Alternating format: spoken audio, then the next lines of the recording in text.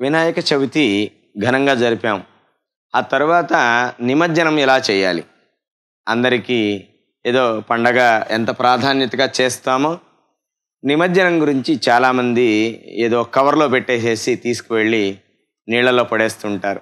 దానివలన నీటిలో కాలుష్యం ఏర్పడుతుంది. అందుచేత అందరూ ప్రాధాన్యతగా గమనించవలసినటువంటిది ఏమిటయ్యా అంటే వినాయకుణ్ణి మట్టితో చేసినటువంటి వినాయకుణ్ణి నీళ్ళలో కలపవచ్చు.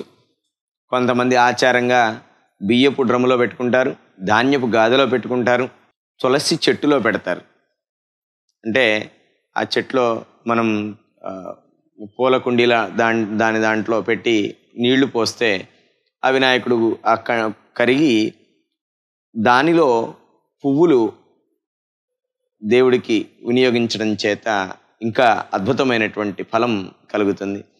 అంతేకాదు పాల వెల్లిని మళ్ళా మనం తీసి పూజ అయిన తర్వాత పాలవెల్లిని భద్రపరచుకోవచ్చు.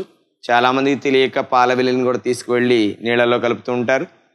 అయితే పాలవెల్లికి అలంకరించినటువంటి పత్రములు ఏవైతే ఉంటాయో అంటే మామిడి కొమ్మలు కానీ రావి కొమ్మలు కానీ ఇంకా ఇతరత్ర ఏవైతే పత్రి దర్భ గరిక ఇవన్నీ ఉంటాయో వాటిల్ని మాత్రమే నీళ్ళలో కలపాలి.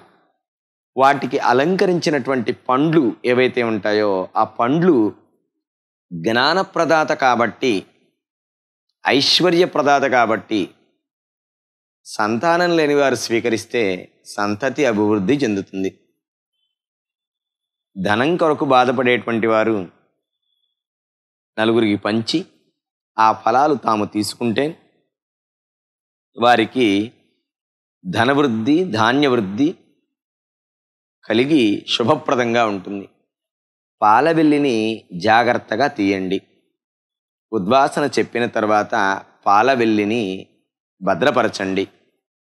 పూజించినటువంటి పత్రి పుష్పములు కవరుతో కాకుండా జాగ్రత్తగా నీళ్ళల్లో కలపండి.